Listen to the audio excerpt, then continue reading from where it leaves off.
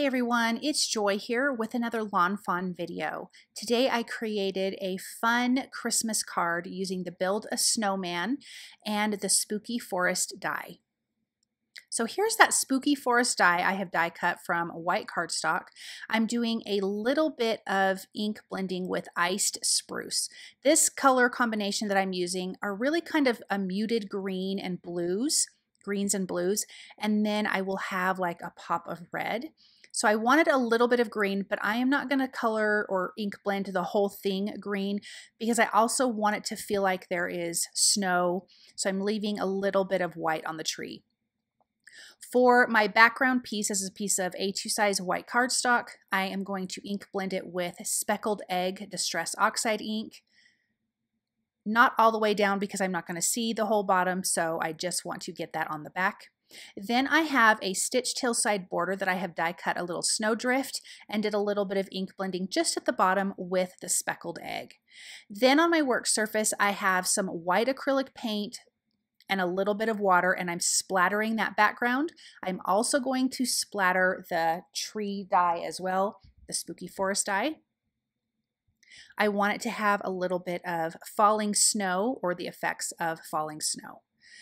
Okay, so now we have our build a snowman. I have die cut everything off camera. You have this little black piece or this die piece that I've cut from black licorice cardstock, and that's going to fill in his eyes and face. I have decided to color all of the images, all of these die cut images. I'm using Copic markers. Instead of die cutting it from colored cardstock, there was a lot of pieces and I actually felt like it would um, be really just kind of different. It gives you like a no line coloring look when you color your die cuts with a color medium like colored pencils or alcohol ink. So that's what I'm going to do.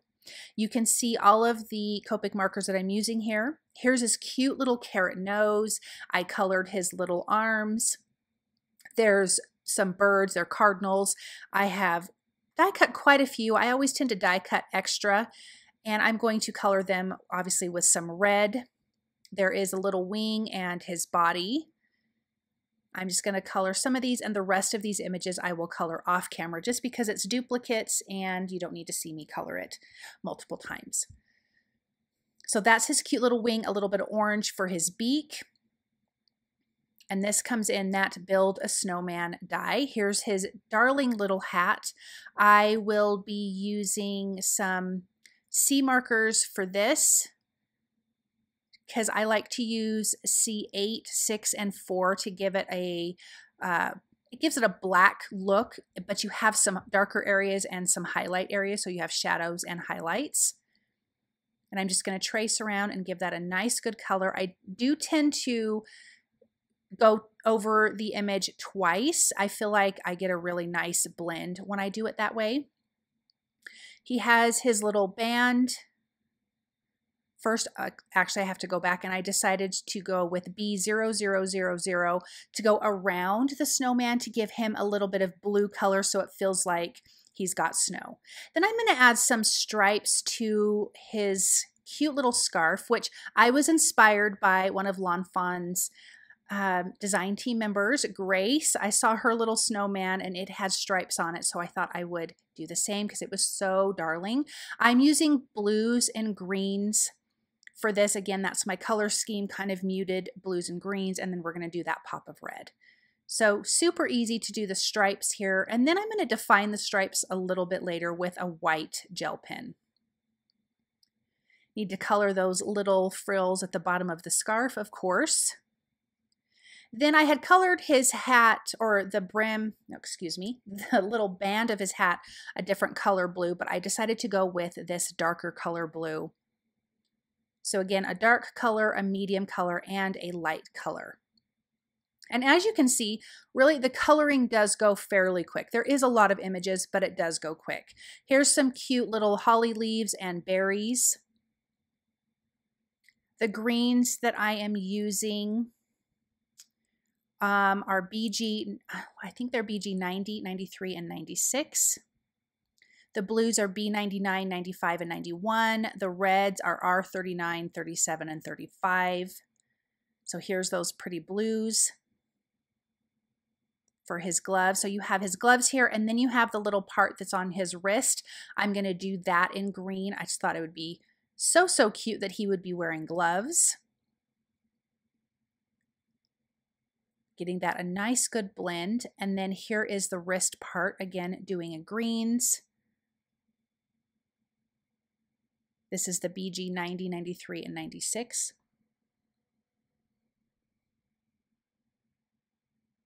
And then I decided to bring in some Christmas lights. I love Christmas lights. This is the mini string of lights die. I have die cut again from white cardstock. I'm going to color these with the Copic markers that I already have on my workstation. I don't want to bring in any more colors. There is an orange color, which is YR01 and 02, which was for his nose. I will use that for one of the lights. But I'm using the green, blue, red, and orange and there is multiple of these lights.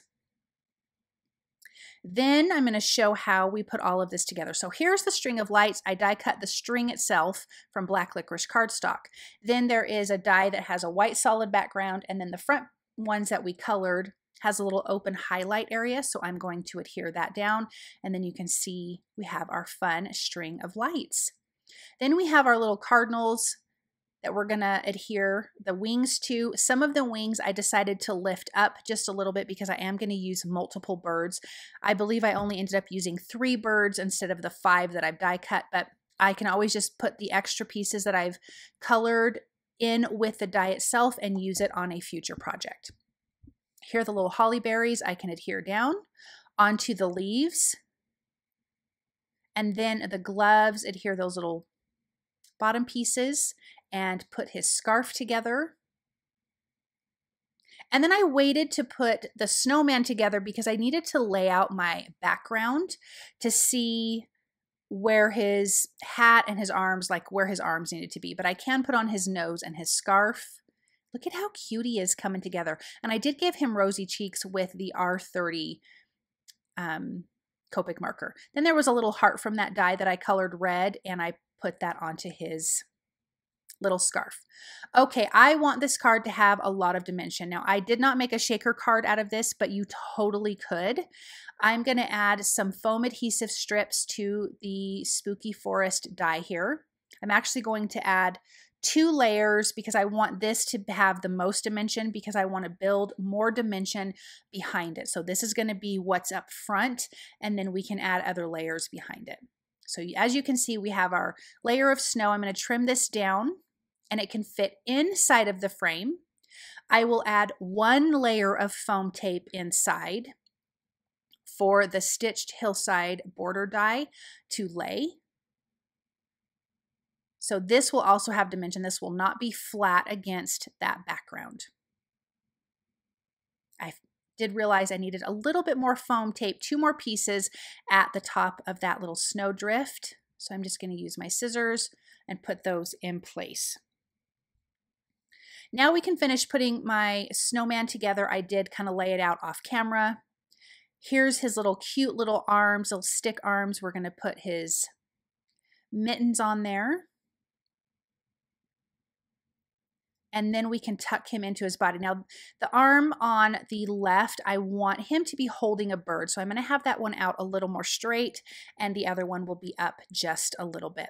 Then I'm going to add one layer of foam tape behind him. So he will be, his layering will be just as deep as the hillside, but I'm going to tuck him behind the hillside. So it looks like he's, the bottom of him is kind of buried in the snow.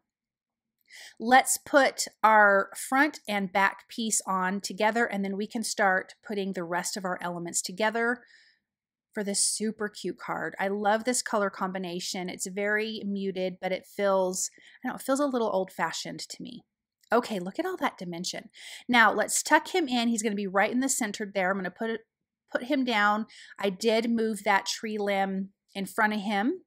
I added some foam tape, one layer uh, behind the Christmas lights, and I'm going to tuck this right under and trim this apart. So this looks like it's kind of hanging in the trees. I can just slide that under, before I press anything down, I can easily move it around. And then once I get it where I want to, I can push those little lights down. I'm going to do the same thing on the other side. And I do have a little tiny piece left over after this that I am going to still put on the right side because I do plan on putting a bird on the left side in the trees.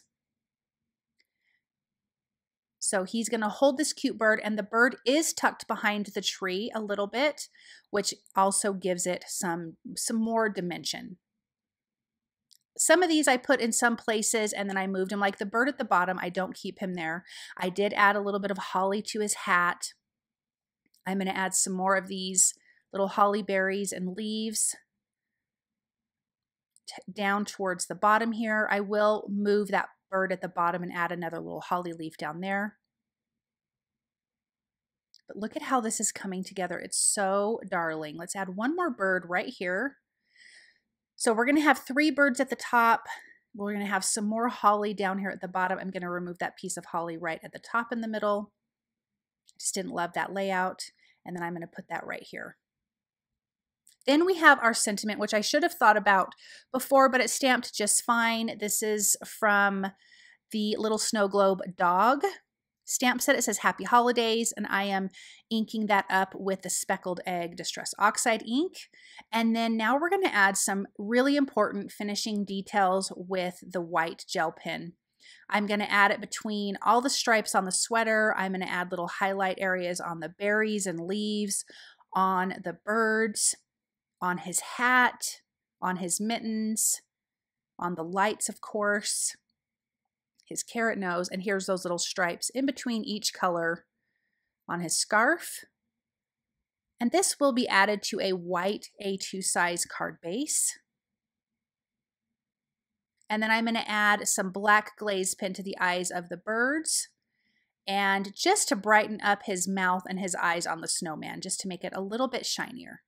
Now let's take a look at this. Look at how darling this is. I love this Build a Snowman die and to turn that Spooky Forest die into a Christmas card works perfectly. Thank you guys so very much for stopping by and watching. I hope that you enjoyed this project and I hope you guys have a really wonderful day. Bye.